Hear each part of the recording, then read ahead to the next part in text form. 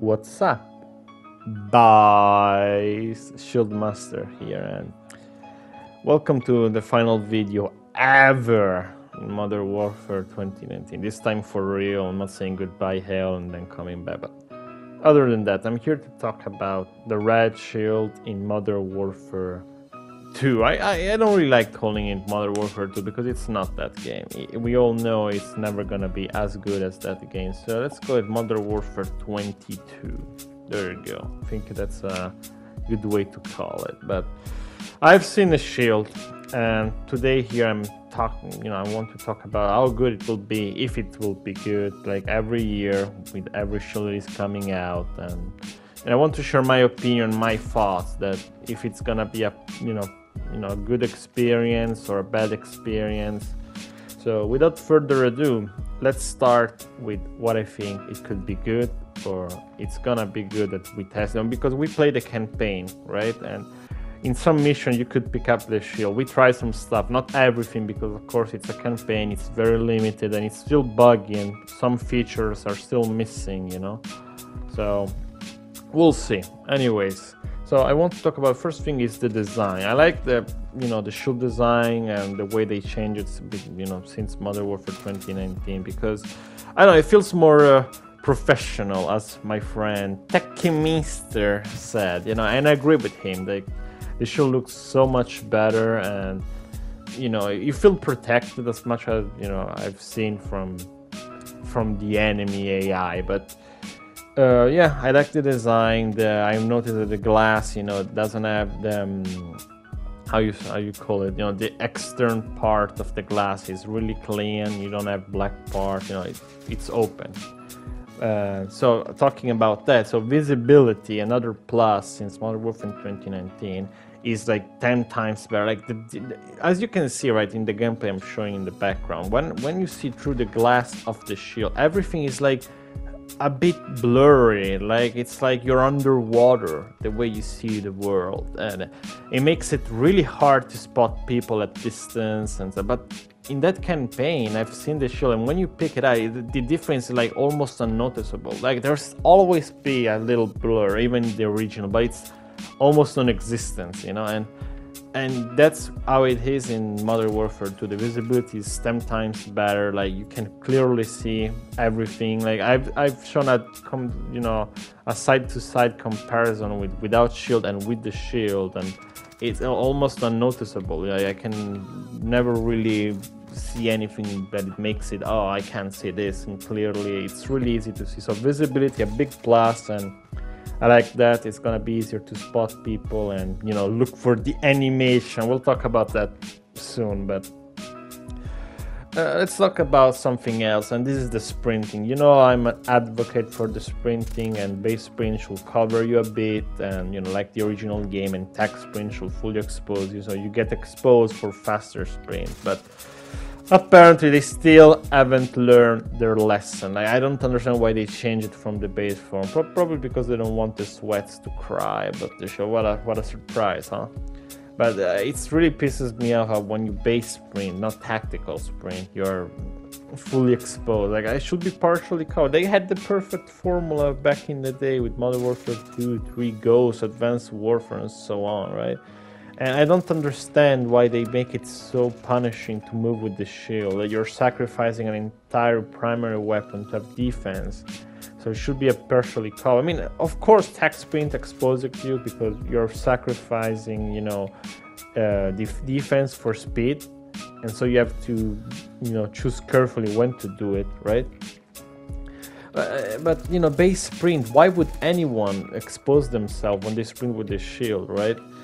So uh, the only plus is that the shield movement speed is actually faster. So we act, it's probably around the AR level, like AR slow side AR, but it, it, it's definitely faster than LMG and Modern Warfare 20. It's really fast. It's not SMG level, of course, because that would be crazy. But damn, it's faster. I I I hope they don't change anything because in the campaign the movement speed is much faster, and I love it it feels like World War II movement speed. Now I think about it, in World War II, the movement speed with the shield was really good. It was really fast. So that's a really big plus in my opinion.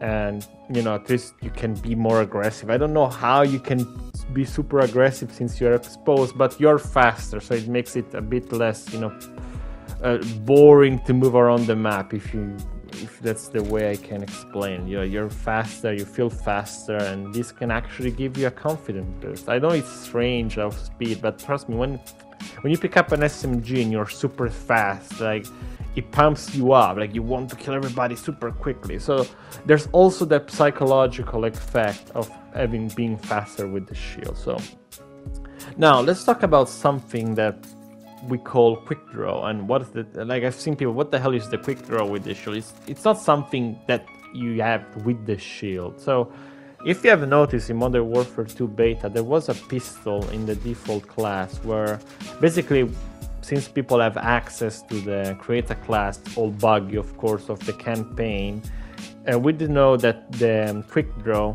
uh, we, uh, we call it, it's a grip that you can equip on pistols. And basically, with this grip, you can swap ultra fast to the pistol by putting your gun to the side, correct? And as far as we know, it should work with the shield as well because otherwise you will be wasting an attachment if you have the shield and that's really stupid in my opinion but as i said um, the campaign is really buggy. A lot of features are missing. Even other that don't really mean anything with the shield and stuff but you know so the campaign is bugged we have to wait for day one patch. But what i'm talking about is that in the campaign the quick draw was not available with the shield. And we hope and we think it's a bug but I'm not holding my breath because I've been disappointed so many times, and at this point, I'm so scarred by the bad shield that it's really hard for me to trust it. I'm always scared of they messed it up and something bad is going on. So if it doesn't work, don't be surprised, but it should work. Let's say that it should work. Um, so yeah, quick draw with the shoot. If it works, it's gonna be really good. Like it it can offer you a really good way to approach and be aggressive with the shield. So even if you're exposed, at least you can be aggressive that way. So that's a plus if it works, of course. Otherwise, it's a bummer because what's even the point, right? Having that good attachment that you can't use it with the shield. You know, I mean, it's only for pistols anyway, right? Why? I mean, I'm not saying you should be fully covered while shooting like the AI, but you know that offers you a better way to be aggressive with the shield. So I hope it works with the shield at launch. Now, the, what about swap times? I know we don't have Fast Hands in the campaign, and you know the swap times are what they are. But we have noticed, at least my friend noticed. I couldn't can't really say because I haven't really played, but he played in the firm, you know, with his own hands, and he's saying that to sw- swap into the shield feels faster. Okay, swap into the shield feels faster. So even without Fast Hands, the swap times aren't that bad. I mean, they're not, of course, super fast, but they're not that bad, right? Like Modern Warfare 2020. So swapping to the shield feels faster. Okay, that's all there is to it. So this means that with Fast Hands, it should be even faster. I hope so. Now, uh, we of course we talk, we played the beta, and what about the counters? And they're pretty much the same. You know, Thermite is probably still gonna be busted uh, Semtex and everything. But what's the difference that there everything is a bit slower than Modern Warfare 2019? Like not by much, but it's slower. Okay, and that's a plus.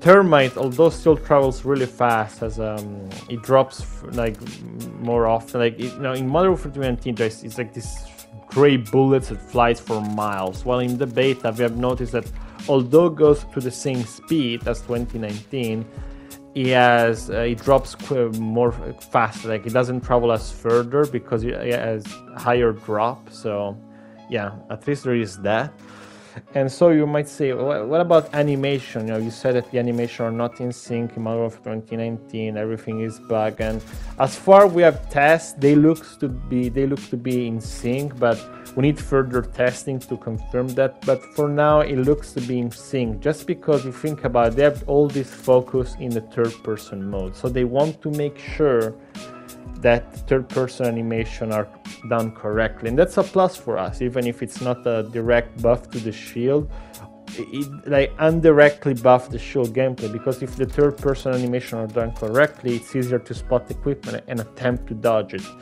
Uh, although uh, you know we can talk about how dodgeable Thermite and stuff is, you know, but Semtex are, are slower, so that's that's confirmed at least, you know. But now talking about counters, why you're so confident about the equipment? Because we have noticed that the trophy system is like so much faster. Okay, I can tell you that the base trophy in Modern Warfare 2022 is uh, fa- as fast as the AMP trophy in Modern Warfare 2019. And that's like, what's f- that have to do with Thermite and Semtex?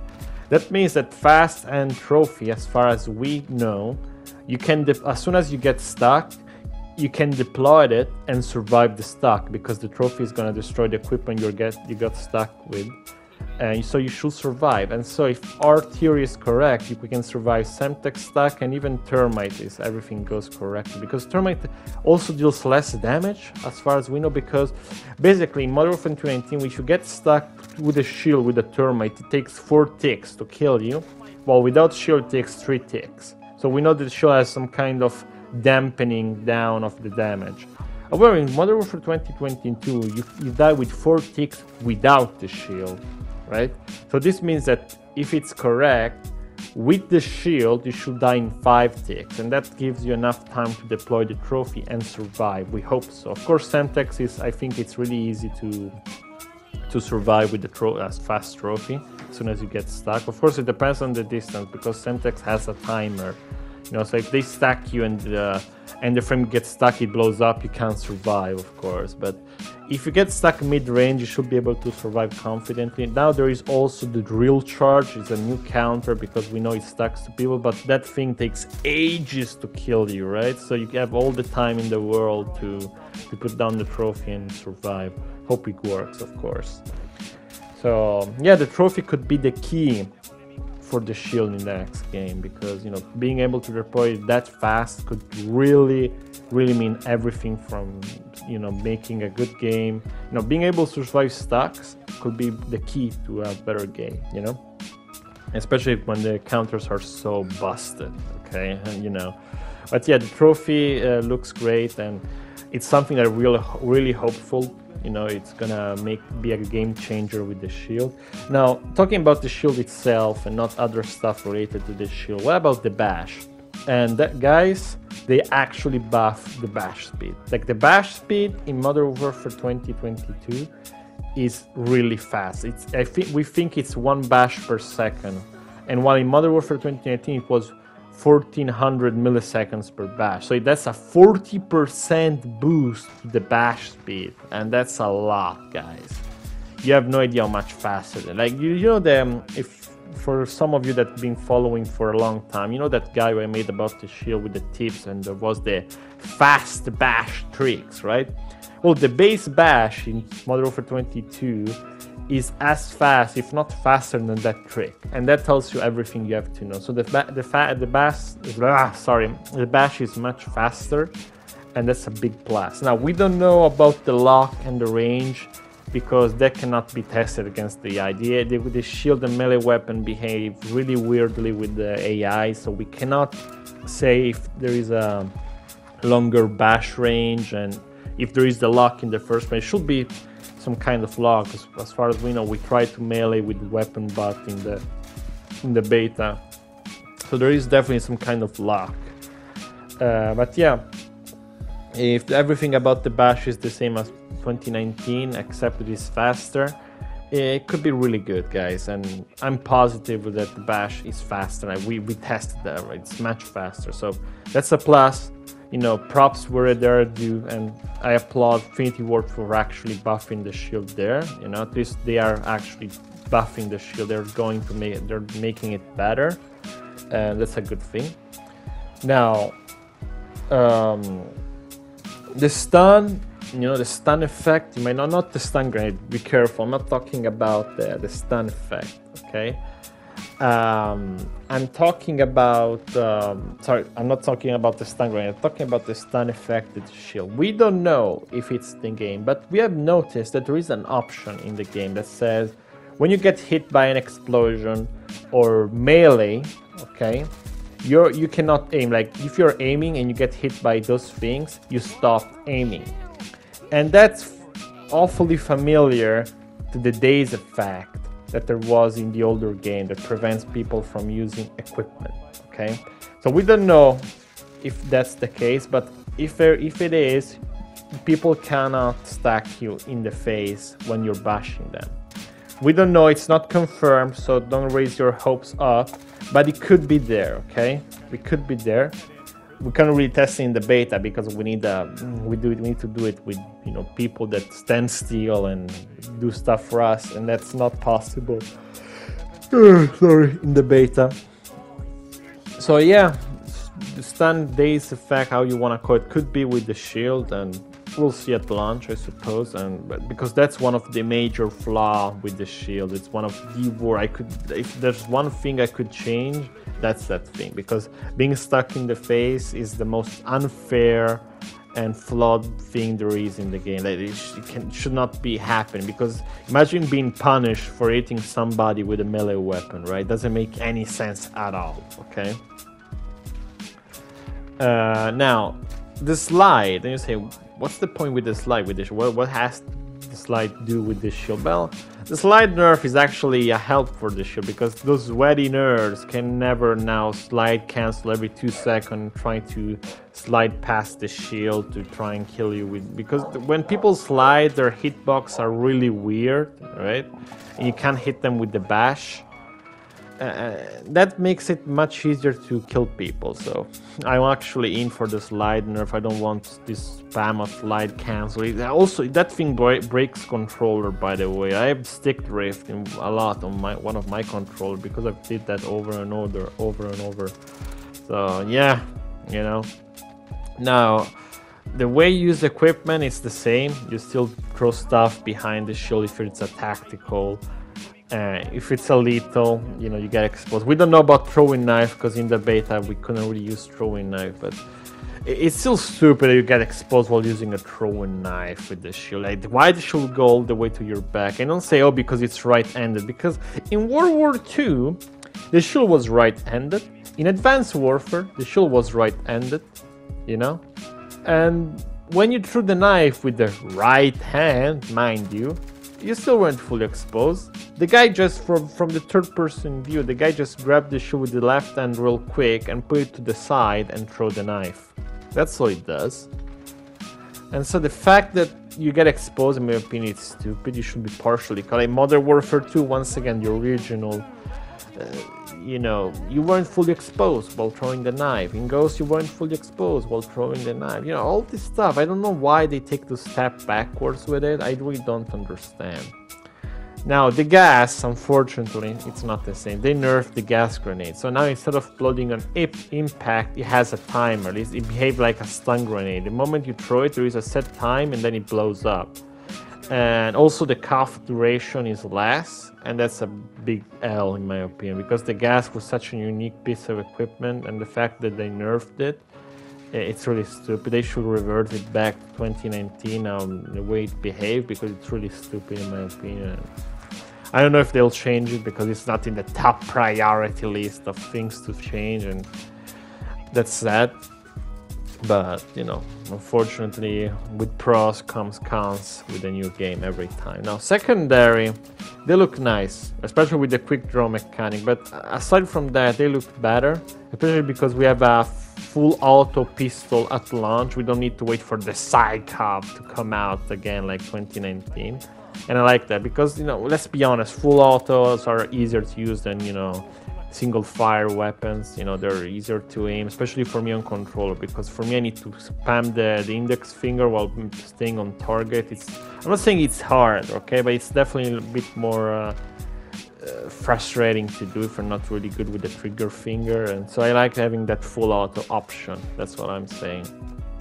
Now a uh, big con for the shield is definitely the perk system because uh, come on, let's be honest, the perk system is stupid. Like, why they have to change something that is not broken? Like, the perk system has been working for ages the way it should be, and they, you know, let's just change it. I don't even understand why they don't even try the ghost system. That's the most unique and best perk system they ever did, and just because people hated on Ghost doesn't mean they hated every single aspect of it. To be honest, personally, I love Ghost, but that's not what we're talking about today. But you know, one good thing that everybody pretty much loved about that game was the perk system. You know, how, how every perk had their cost, and you know, and I don't understand why they changed it. They, they've earned perks in the game. What about specialists? Because there should be, most likely, there won't be specialists in the game, and that's sad that is another step backwards they're taking because they had specialists in every single game infinity ward i'm talking about since modern warfare 3 i mean there are ways to implement specialists even with this new perk system. For example my idea is that let's say uh, your first reward is restock okay? Restock we know it's a bonus perk. However even if you get those two kills okay and you get the restock Restock is not active until you actually get your base uh, bonus perk. So, for example, my base bonus perk is fast and until you get fast and all bonus perks are not usable. Okay, so even if I get those two kills, it's not active. Okay, and the same thing applies to ultimate perks. So even if I get put ghost as two kills, it's not active until I get the actual ghost. Sorry, the actual ultimate perk I have equipped by for default. And all of this applies for, of course, every bonus perk and the ultimate perk. And of course, it doesn't apply to base perk. So if, uh, for example, I put as my first reward Battle Hardened, that unfortunately it's a base perk, even though it shouldn't be, because now people are gonna just run EOD and Battle Hardened over and over with no variety. But if I put that as my first reward, of course it's gonna be active as soon as I get it, no matter what, even if I get 0.01 second of the match, because base perks are always active. So that's my idea on how they should make specialists. You know, of course, then the specialist bonus, if you get it at the beginning of the game, and you still don't have your bonus perk active, and of course ultimate by consequence, it's your bon- specialist bonus only has active all the base perks, but not the bonus. But if you have your specialist on and you get your bonus perk, then all bonus perks become active alongside with your base bonus perk, and so on with the ultimate perk. So that's how it should work, and I think that's a great way to make it work with the new perk system if they really don't want to change it, you know. And I like that. I like that. you know, um, as I was talking, I realized something that you know those are the expectation that we put to the shield and unfortunately not always the expectation are met because I don't really want to make the same mistake I made years ago, even with 2019 and with Vanguard. With 2019, I was so hopeful. Oh man, the game is gonna be great for the shield. And although it wasn't horrible to the point of being unusable, it wasn't the best either. And you know, and that was something. And I thought, okay, you know, let's try again. With Vanguard, Vanguard was the, you know, the end for my confidence I had and any hope I had on the devs. Because you remember, if you go back, I said, oh man, the show is gonna be much better. Even if it's everything is the same, it's better because there is this, there is that. And look how that ended up. So after all those experience, guys, I'm really, really, really careful with my hopes being high because I've been scar for life. The, the, the, only way they can they have to gain their trust back. And I, I suppose that if they're buffing the shield it's a step forward but we'll see at launch guys. I'm not being happy. I'm not saying happy. I'm not being super excited because i know how they can easily screw it screw this up. And so I'm telling you, you know, some stuff looks objectively better. We tested it this time around. It's not just oh, it's gonna be better. Even if we say no, we test the stuff, and um, yeah, that's all I have to say. But yeah, these are the expectations. No, every year I expect the Shield to be like your old days, but we all know that's not gonna happen. They have this new trash formula with the Shield and I don't know what's what they need to understand that the old days formula were better. Like I tried three years of feedback to Infinity Ward, and although they buffed like visibility, the bash range, and you know we have the quick draw and stuff like that, or you're faster with the movement speed. They did actually acknowledge some of the feedback I gave to the Shield. Don't get me wrong, I don't know. It feels like they're always scared of making the Shield good. I don't know why they are scared because we all know, like back in the day, was the Shield overpowered? Let's be honest. How many Shield nukes did you see back in the day? Like, if it was so strong, why nobody uses it? Why are they so scared to make the Shield more viable as an option? You know, for those people that enjoy it and actually take skills, you know, and it doesn't take skill, you know, for your little sweats watching this video. Shut the hell up, right? If it doesn't take skill like shotguns, why nobody uses it? Why nobody, you know, gets nukes with it if they're so easy to use, right? So yeah, my expectation are always, you know, oh, this is gonna be like the original days, but we all know it. The sad reality is it will never ever be like the old days. I mean, there's always that 0.1% they could, you know, make it like back in the days, you know. There's always that sense. Not, Nothing is all it's ever 0%. But you know, after all we have been through, I'm just scared, you know. I really am scared of how the show is gonna be. You know, I'm always uh, on the on the defense at this point about the shield. So, yeah, uh, I think I said everything pretty much, guys. So, am I, am I gonna buy the game? Yes, I am. I'll be honest with you, but uh, don't expect, you know, to be the greatest shield ever. It could be, could be. As I said, don't take it 100%. I don't want to fool anybody or, you know, put false hope on anyone uh, about the Shield being good. It could be better than 2019. Okay, that's all I have to say uh, based on the informations we have because we don't know everything, as I said, because what we could test in a campaign was limited. Same with the beta, but it could be better. Okay, so yeah. I'm gonna buy the game because you know I'm tired of Modern Warfare 2019, Vanguard, all that trash. I need something new, guys. I just can't take it, and I hope my content. I am gonna put out as much content as I can, guides, video, gameplay. And recently also discovered why my YouTube channel was a bit stagnant, you know, with subscriber and views. And now I'm, you know, being I'm try harding more with YouTube. You know, I'm looking at the analytics and all that stuff and the stats. So I'm gonna try and be better with YouTube as well. So guys, this is all my opinions about the Riot Shield in Modern Warfare 2022. I hope you enjoyed the video and take care guys. Have a good one. See ya. The strong take what they want and the weak play. And no mm. one is Fucking shit gamer. Fucking shit gamer, loser pussy.